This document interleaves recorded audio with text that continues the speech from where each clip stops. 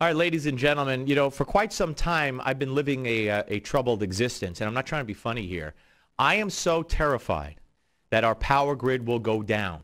And I've been terrified uh, over this for quite some time, many, many years. And after hearing uh, uh Trent Franks speak um, several months ago at a, a, Women's Republican Club here in New York City, um, I, I, don't know how the whole nation isn't terrified and petrified, and I don't understand how the Congress and the, the administration has not addressed the problems that exist that could leave this country vulnerable to an attack, many, uh, many different forms of attack that will take down our power grid for six months to a year or more, killing millions of Americans, no food, no medicine, no transportation, chaos, anarchy, and they're not addressing it.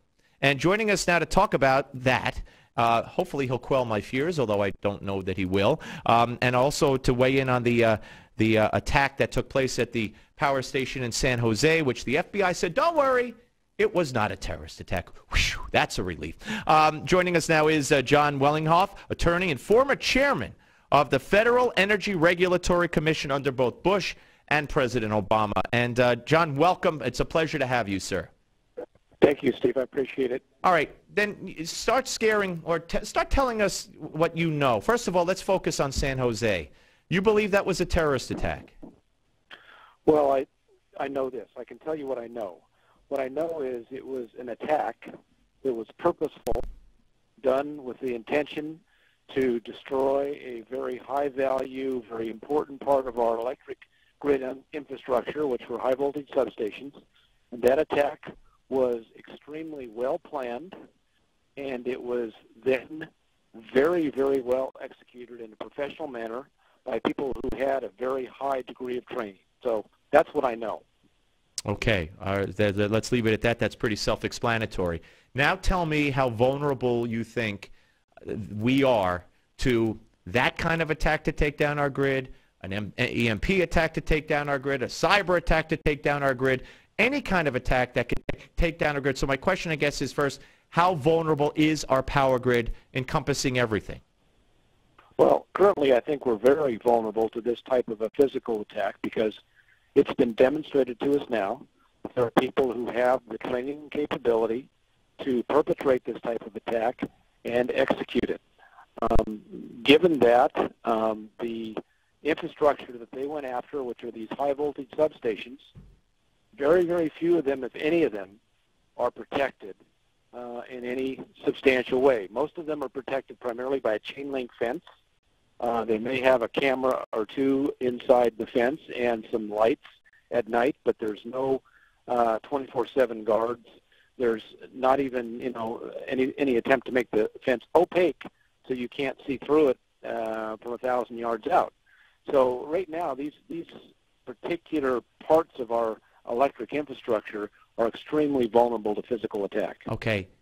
Why on earth is that the case? What is it that has stopped, prevented uh, Congress or the people that have to act, I'm assuming it's Congress, from addressing this?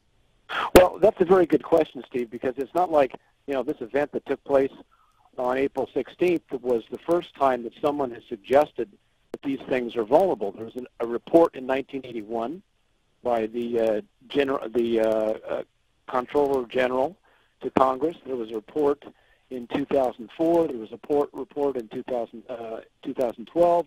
Again, all multiple government reports that all pointed out very specifically that these particular parts of the grid, that is high voltage transformers at these high voltage substations, are the most vulnerable part of the grid from a physical attack. So this is something that, you know, for the last 30 plus years, people have talked have talked about as part of the infrastructure that should and needs to be protected. So, you know, I'm not sure I can answer your question. Right, why right. over that 30-year period somebody hasn't said, "Hey, maybe we need to do something." But I'm hoping that this particular event that demonstrates very graphically that people actually have this capability will now move people into action. We're talking to Jon Wellinghoff, uh, former chairman of the Federal Energy Regulatory Commission under two presidents here on the Steve Malzberg show. Um, I, I, what needs to be done? In other words, it, it, are we talking a drop in the bucket in the overall budget if they decided to do something to secure it? Uh, I guess it, you need enhanced security at these facilities, but you know, there's other ways that we haven't discussed specifically, like an EMP attack or the cyber attack. What would the cost be, and how long would something like this take to to to, to do and get in place on almost all these levels? Well, first of all, uh, you know, starting one at a time, with respect to the physical attack you know, the industry talks about there's 45,000 substations, although it turns out there's only about 100 of them that are really the most critical, that have the most um, susceptible and most uh, the, the, the most important high voltage uh, transformers contained in them that transform power out to our, our high voltage transmission lines. To protect those would be a relatively inexpensive thing to do. I mean, number one, put up an opaque fence of some kind so you couldn't see through it. And number two, you, if you if you want to, you could actually put what they call jersey barriers in front of of the um, uh, transformers themselves, so you know would stop a, a, a ballistic projectile. Um, there's a number of things you could do that are relatively inexpensive on the physical side, and I think this physical security is uh, the highest level of risk for you know the, uh, the least amount of money we can we can stop that risk. And then you talk about EMP, you talk about um, electromagnetic pulse, you talk about cybersecurity, you know, those are different problems that, that take different solutions and will cost different amounts of money. Uh, but I don't think, uh, you know, those are as, as likely or as possible or as easy to do as somebody who could literally, you know, go to go and get the equipment at Walmart and take out the grid. Very frightening. Okay, so uh, I, I, I, mean, Iran launches a, a, crude nuclear weapon in the middle of the sea. Nobody's looking. They launch it straight up, um, and it takes out our power grid through an EMP attack. How uh, how how how uh, light? Not how likely, because you don't know what Iran's going to do, but how easy would that be to do? I, I, I'm not an expert in that area. Okay, but I, I certainly don't see that as as as as easy as you know ten guys and three pickup trucks. Yeah, yeah. With some with some, with some uh, rifles and scopes. Now, you, I mean, uh, you know, as, as in your capacity, I mean, uh, did you guys ever talk about, you know, what would happen if something like this ever happened? What would happen if the grid went down, or a significant portion of the grid went down? I mean, what what this country would look like? Uh, you know, we hear about Homeland Security buying up millions and millions and millions of rounds of ammunition, the IRS training with guns, and you know people with conspiracy theory minds are out there saying they're planning for something. I mean, do, do you do you get frightened when you hear all this, or do you think the government thinks it's got to happen one day and they can't stop it, or what? Well, uh, again, I, I think what we did at FERC is address and look at the side of trying to stop it, trying to do what needs to be done to mitigate these risks, and we in fact handed out to utility executives proposed checklists of things to do to, in fact, protect these substations from physical attacks. And that's really the side that we worked on it. We really right. did think, you know, think about or work on the other side of, you know, what happens if, if in fact someone succeeds. Right, I don't, right. I don't want to, I don't, I don't, I don't want to have to think about that. Unfortunately, my agency didn't have right. the responsibility to think about what happens if, if somebody actually accomplished their objectives.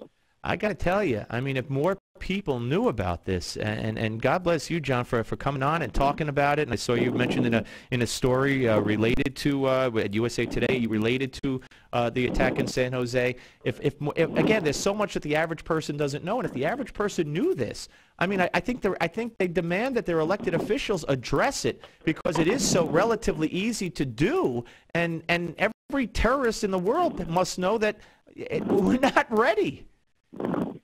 Well, it, it, it is it is a huge area of concern, and it's been a big area of concern for me for a number of years uh, since I was at FERC and started to dig into the problem even before April 16th. We were doing, uh, you know, analysis and doing research that looked again back at these previous papers that had been done by other government agencies as to the risks, and we were trying to figure out what needed to be done to hopefully mitigate the risk going forward. Yeah. All right, Jon. Thank you so much for your time, sir, and I'm sure we'll call on you again. Thank you, Steve. Anytime. Thank you. Uh, that's Jon Wellinghoff, attorney, former chairman of the Federal Energy Regulatory Commission under George Bush and uh, Barack Obama, talking about something that is, it, it, I got to tell you, it's kept me up at night. It really has. And you try to keep yourself prepared, but prepared for what? How does the average person get prepared? You could have a generator. You could have a supply of food. You could have a tank full of gas. Um, but you know what? Then you're a have. And one of the stations, was it Natural History Channel or, or, or uh, one of the Discovery, one of them ran a, a, a, a documentary or the, what it would be like, a movie, a fictional movie, what it would be like if we had a blackout. I think that blackout lasted, the History Channel, what did it last in the, in the movies? Uh, a couple of weeks? Four weeks? A month? Two months? I don't know, something. I mean, folks, it's, it's better to be the have, but then the have-nots in a lawless society with no lights, no electricity, um, no transportation to speak of, no food, no emergency services, no telephone.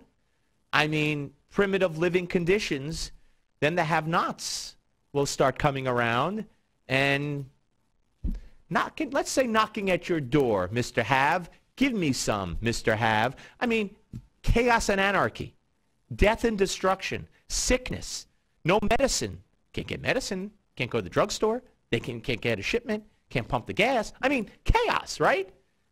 Who could survive it? And with this as a threat, after seeing what happened in San Jose, and this was not the first time, as you heard from Jon Wellinghoff, fix the 100 stations. Put security around the 100 stations like they were nuclear facilities, and do it yesterday. Instead, nothing's happening.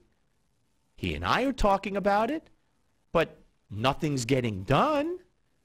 And how could that be when it's such a threat to the survival of the citizenry of the United States of America?